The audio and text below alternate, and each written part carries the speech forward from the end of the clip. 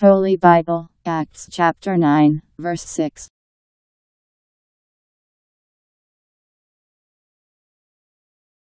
But get up, and go into the town, and it will be made clear to you what you have to do.